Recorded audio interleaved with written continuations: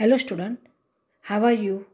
I hope you are all well in your house.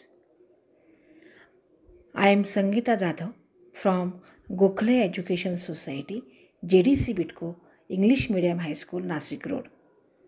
So, today we are going to learn lesson number 4, Unit 1.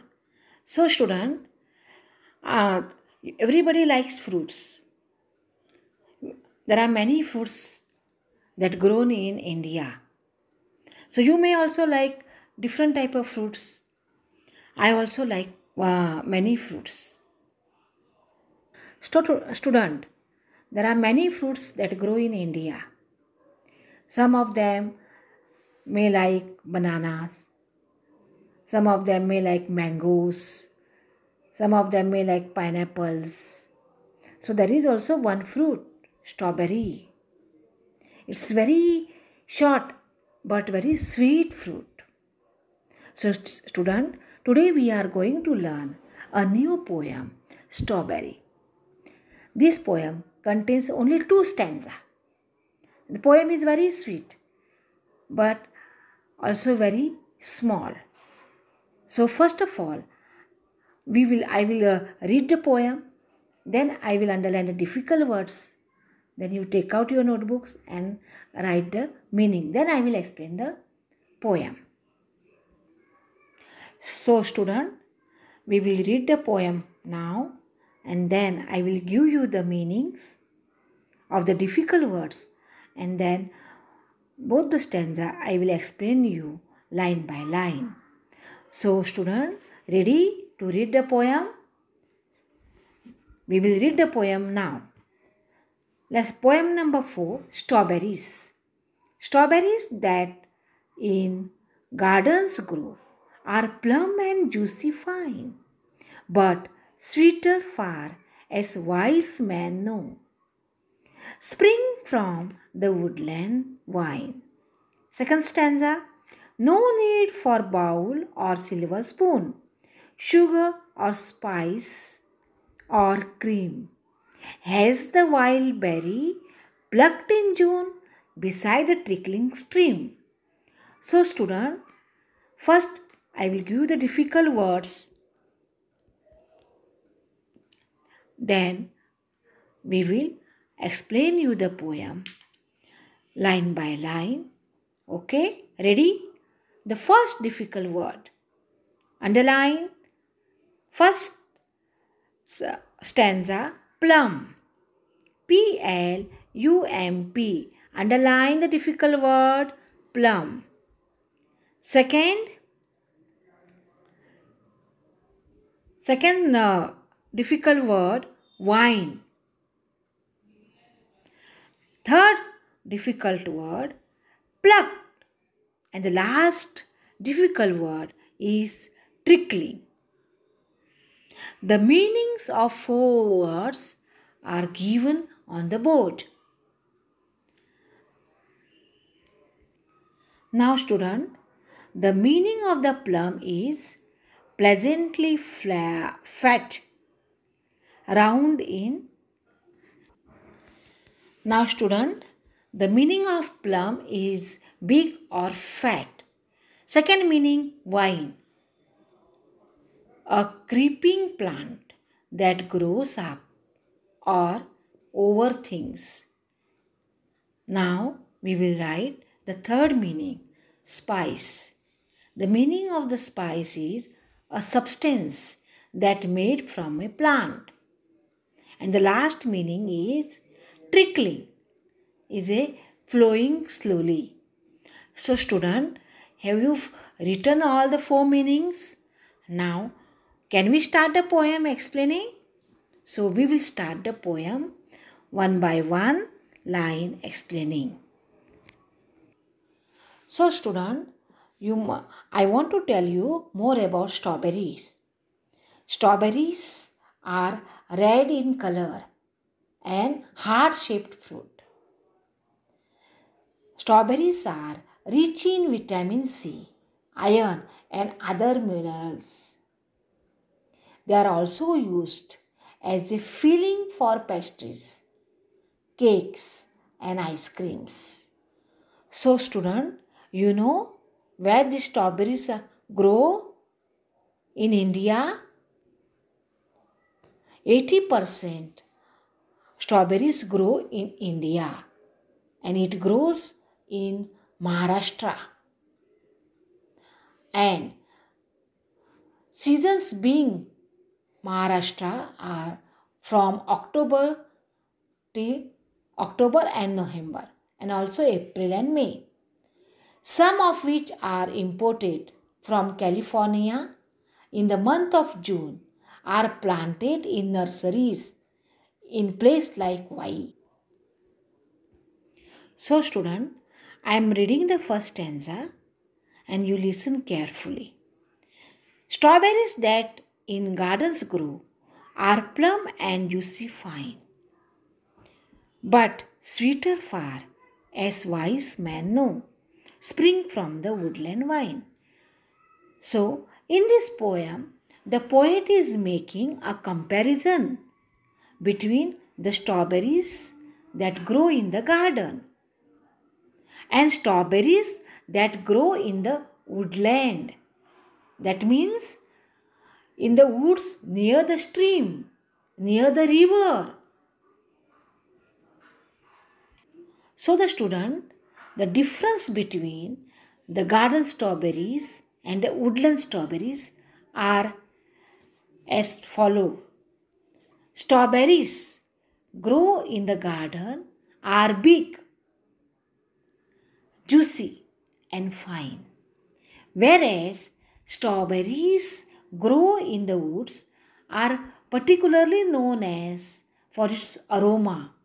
That means for its juicy texture. Second, strawberries are plum in shape. Garden strawberries are plum in shape, same as woodland strawberries. Strawberries grown here are sweet. Same, strawberries uh, grow in the woodland are also very sweet. Understood, student? So, we will start now second stanza.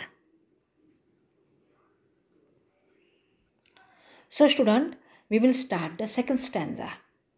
No need for bowl or silver spoon, sugar or spice or cream. Has the wild berry plucked in June beside a trickling stream.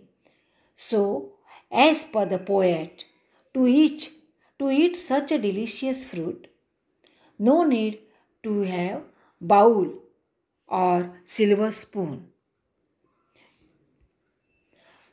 Rather, one should be like a wise man who knows that strawberries grown on vines near the trickling stream. Here, stream means near riverside. So, they are much sweeter because that grows in the month of the June. Hence, we can have directly eaten. We can eat directly, no need to add sugar. So, student, we have finished the poem.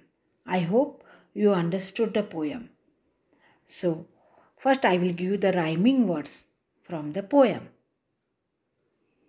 From the first stanza, we are having two rhyming words. Underline now the first rhyming word.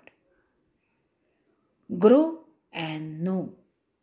The spelling is G R O W N O. So the first rhyming word is grow and know. Second, fine and wine. From the second stanza, spoon and June. And the last one, cream and stream. I hope you must have noted the rhyming. Student, we will go ahead with the homework. Question number one Learn and read the poem two times. Question number two Read the poem and answer the following. The first question Which are the two different places where strawberries grow? The first answer is the two different places where strawberries grow are in the garden and beside the trickling stream. Now, the second question What are the two different ways of eating strawberries? Strawberries, the two different ways of eating strawberries are by using bowl or silver spoon without adding sugar, spice or cream. And the second way of eating strawberry is that you can eat directly after being plum. Now student, third question. Which strawberries are plump and juicy? The answer is strawberries that in gardens grow are plump and juicy. Question number 4 Which strawberries are sweeter? The answer is the strawberries that grow beside a trickling stream are sweeter.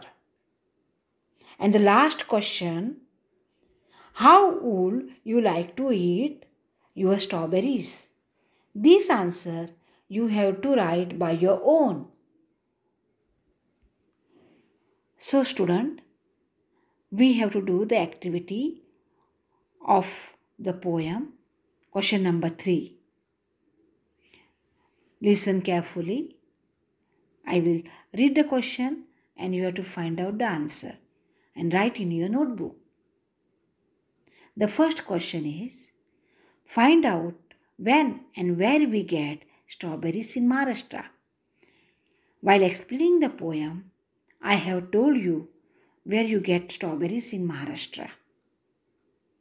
So, write the names of the places where the strawberries grow in Maharashtra. Question number two Make a list of your favorite fruit or vegetable and write it in your notebook which fruits you like. Write at least 10 name of the fruits and 10 name of your vegetables. I hope you have understood the poem. You have enjoyed the poem while uh, teaching the poem. Write the homework in your notebook and do the activity which I had given to you. Thank you.